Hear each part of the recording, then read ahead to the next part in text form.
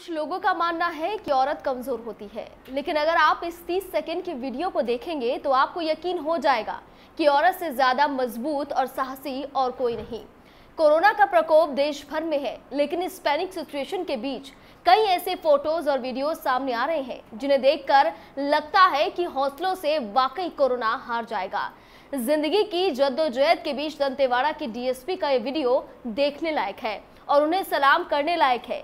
इस अवस्था में अपनी जान की परवाह किए बगैर वो अपनी ड्यूटी निभा रही हैं। देखिए, ये खास वीडियो।